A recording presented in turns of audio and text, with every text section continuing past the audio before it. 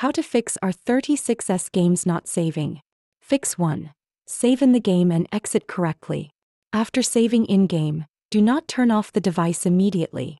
Press Select plus Start or FN plus Start to exit into Emulation Station. This action writes the saved data to the SD card. Fix 2. Replace the stock SD card. The stock SD card may cause saving issues. Replace it with a reliable SD card like Samsung Evo Plus. Insert the new card into the correct slot, usually TF1. Fix 3. Avoid instant shutdown.